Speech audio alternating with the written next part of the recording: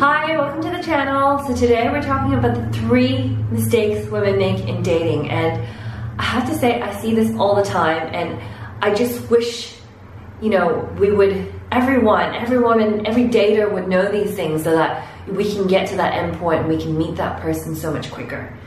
Number one, the number one mistake I see people make is, you know, they don't set boundaries, they don't set expectations.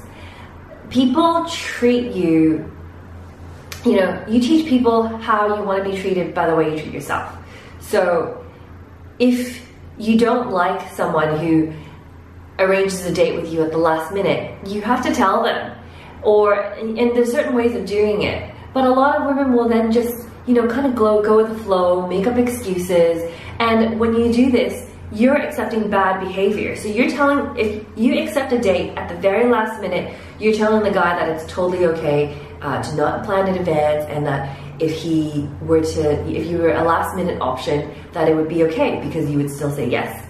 And the more you do this, the more you train people how to treat you. And it's not that these people, these guys are bad guys, it's just they have not been told and communicated how you want to be treated. So a lot of women, you know, they want a guy who takes the lead, who plans the dates, who um, makes plans weeks in advance, who, who, gets in touch, but they're afraid to they're afraid to ask for it and thinking that they'll chase these guys away. But instead, what you're doing is you're attracting really low level relationships. So you know, don't be afraid to ask for what you want because when you do, it will come and you will find it so much faster.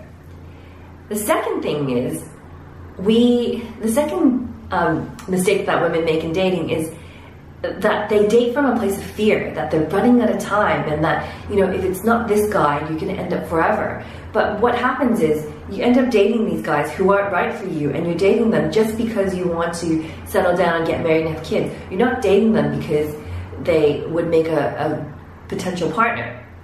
And there's a huge flaw in this because once you get to that end point and get married, you realize that, you know, this guy isn't compatible and you end up going through a divorce. And I'm seeing this happen now, you know, now that I'm in my um, 30s, so many of my acquaintances and friends who've gotten married early on are now, you know, experiencing these issues because they rushed into getting married. So that's the second mistake, dating someone just to get to the next stage in life. The third mistake is, you know, being in your masculine and not taking, not letting a guy lead in a relationship. So I think as women, we kind of overcompromise for the people who don't show up for us. So if a guy isn't showing initiative to chase or take the relationship forward, then we, um, you know, women take the have a tendency to do it ourselves. So if he's not chasing us, if he's not texting us, well, fine. It's 2018, right? So then you go ahead and you do all the texting and you do all the chasing. And in the end, if you're looking for a masculine man to, you know, court you and to woo you and to take the lead, this isn't really it.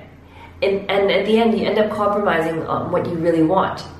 So these are the three main things, the three main dating mistakes that women make, and you know, it, it can all be changed. It's really, really a matter of reframing your mind and changing your mindset so that, you know, you don't feel like you're running out of time. You're no longer anxious and you know it's just going to happen for you. So I've got a 14 day challenge. Uh, it's called Mindset Makeover and a mini course for you to take to attract the healthy relationship that you want and to do it quite quickly. I've had students who've taken this course and really just have seen their love lives changed in a matter of, you know, four to six weeks. So if you put in the work, it can really happen to you, for you. I mean, you just need to set the intention. So I'll leave the links below and as I mentioned before, I'm gonna be vlogging once every week now. It's highly ambitious, but I'm gonna do it. So if you liked this video and you find it helpful, please subscribe. Um, and if you have any questions, leave a comment below. Thanks for watching. Bye.